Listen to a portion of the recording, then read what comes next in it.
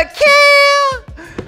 The green veggie is everywhere, and that's why Rachel K is talking about kale with us today in Body Checklist. Oh, Hey, yeah. um, you know, we, we hear about kale and all the benefits of it, but you generally Yeah. we think of it as things like, oh yeah, it's kind of, it's over there. But actually we can really work into our diet, right? Tell Yeah. me more about it. Well, it's actually a form of cabbage. Oh yes, I believe you're right. That is from the Brassica oleracea. Help me if I'm wrong. Alcea group. Am yeah. right? Yes. No, you said I do believe so I'm right. well. I don't know how, how did you know that, Mitch? I don't so know. Smart. I love Wikipedia. but uh, it also has some other great benefits. Tell me about that. It's loaded with uh, vitamin K, C, A, iron, high in fiber, low in calories. It has antioxidants. It's super versatile and a super food for you, know, to eat. And you'll see like these all natural vitamins. They have kale. I mean, it's almost Right. every one they have because and that gives you an idea of just how powerful it is. Yeah. Now getting into our diet, you have some creative ways. Yeah, so I made kale chips, and I'm no chef, but uh, you got to try it.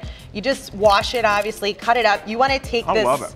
Center uh, stem out. It's super uh, tough. Don't to want eat. the stems, am I right? Don't eat that, and then you just bake it for 20 minutes. Put a little uh, you- olive oil, you'll get baked up a salt, okay. uh, cumin, and then I sort of accidentally put a little bit of cinnamon in there too. I know. You tell everybody that story. you just grabbed it. Yeah, I was on the phone not paying attention, and I just, you know, started, and I, I was think like, it's nice. I think you've So- made something a little A little new, that. yeah. It's a All little right. bit of both. And then you can make it like a salad. Sure. You can eat it like that too. It's a little tough, so it tastes a little better if you steam it to kind of Oh, okay. It's really fibrous.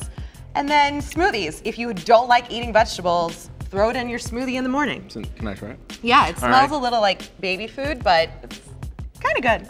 It doesn't taste bad, and I'm not just saying it. I think it Yeah. tastes like those things you buy in the uh, store. Just Yeah. don't look at the color. I think that's the only Yeah, I think just don't out. look at it, yeah. What a great idea. Again, you want more information on kale. Uh, Rachel K has put it on our bodychecklist.com site.